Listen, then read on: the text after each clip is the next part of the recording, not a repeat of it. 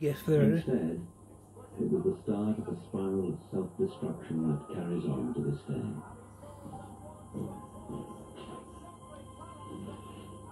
It all started at Walton Prison in Liverpool when his wife told him their marriage was over.